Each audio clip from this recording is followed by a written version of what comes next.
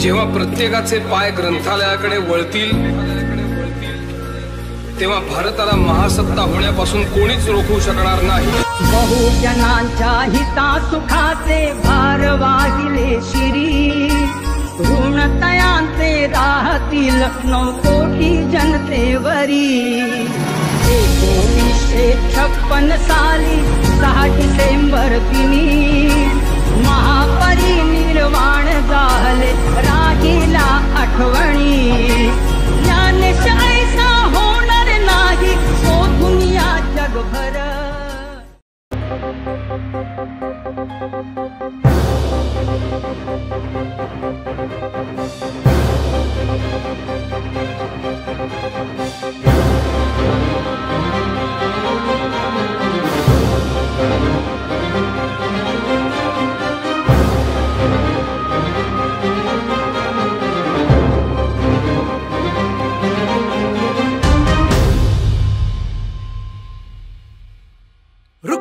नहीं, झुकना अब नहीं, इतिहास कर नया।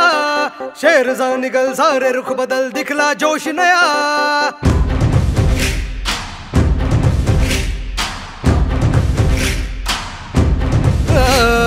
रुकना अब नहीं, झुकना अब नहीं, इतिहास कर नया।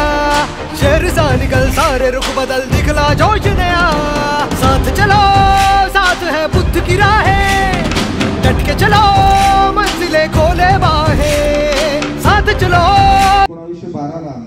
पदवी म्हणजेच बी ए परीक्षा उत्तीर्ण झाले. त्यानंतर त्यांनी कोलंबिया विद्यापीठात अर्थशास्त्र व राज्यशास्त्र इत्यादी विषयांचे अध्ययन केले. इसवी सन एकोणावीसशे पंधरामध्ये त्यांनी प्राचीन भारतातील व्यापार या विषयावर प्रबंध लिहून एम ची पदवी मिळवली. प्राध्यापकाची नोकरी केली. एकतीस जानेवारी एकोणा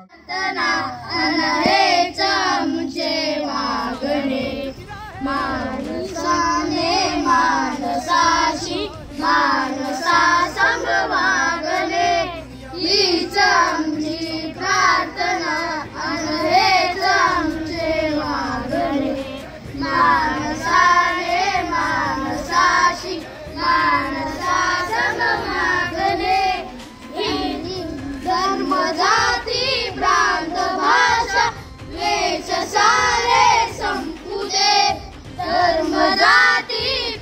जाभाषा वेशसारे सम्पुरे एकनिष्ठा एक आशा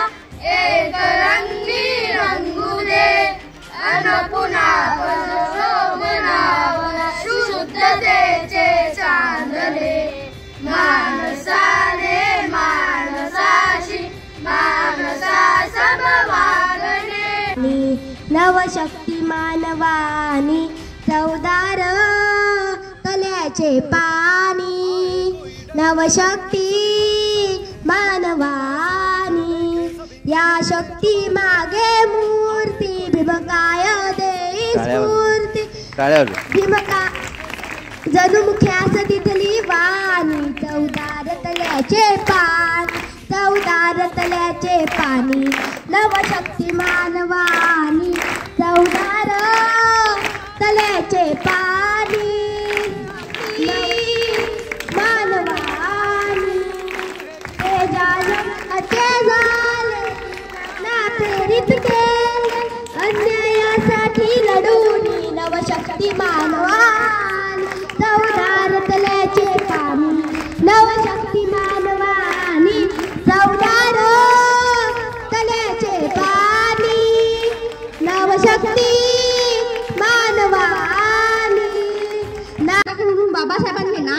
नाव अठरा अठरा तास अभ्यास म्हणून राज्यघटना तयार केली.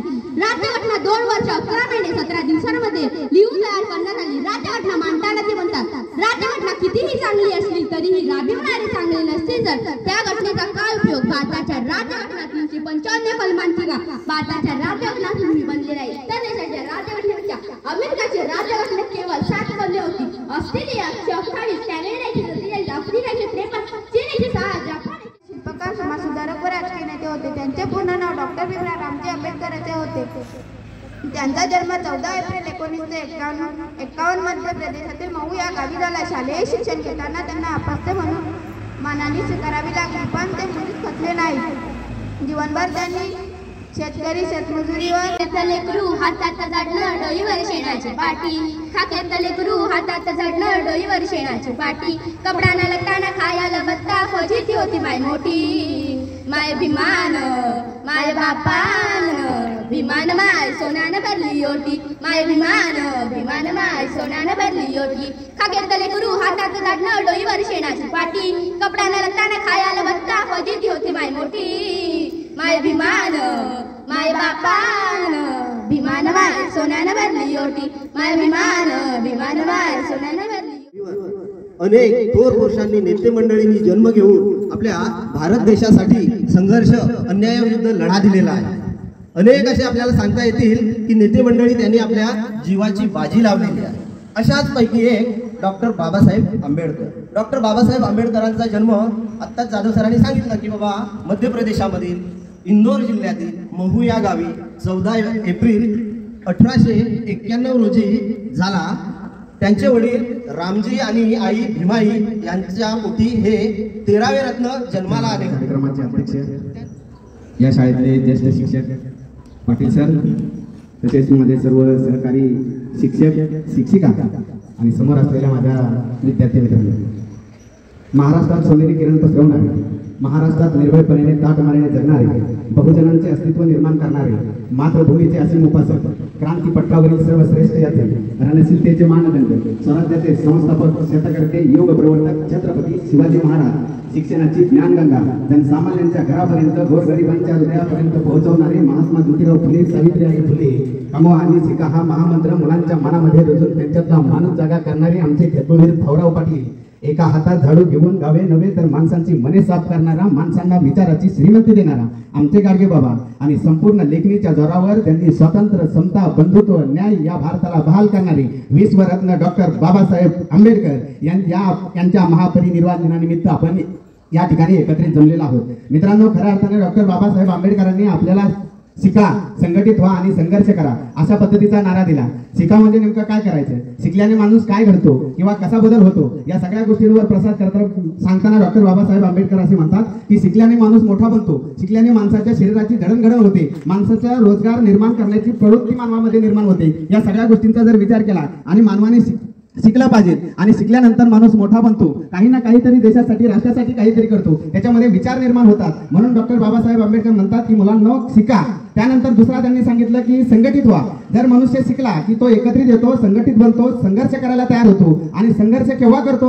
जेव्हा गुलामाला गुलामाची जाणीव करून दिली जाते त्यावेळेस मात्र संघर्षाला मात्र पेटून उठतो. असा पेटून उठवण्याचं काम कोणी केलं असेल तर डॉक्टर बाबासाहेब आंबेडकरांनी केलं. आज जर सगळ्या अरे एवढी वाईट परिस्थिती माझी निर्माण केली रमा. अगं मी नसताना तू एवढा संघर्ष निर्माण केला. या देशासाठी सहा मुले चार मुलं तू बलिदान केली. या सगळ्यांचा संघर्ष तू पेलला अरे जितकं महत्त्व डॉक्टर बाबासाहेब आंबेडकरांना आहे ना मुलांनो तितकंच महत्त्व रमाईला सुद्धा आहे. आणि जितकं महत्त्व डॉक्टर बाबासाहेब आंबेडकरांना आहे ना तितकं महत्त्व डॉक्टर बाबासाहेब आंबेडकरांच्या वडिलांना सुद्धा आहे. कारण त्यांनी त्यांना संघर्षातून खऱ्या अर्थानं उभं केलं.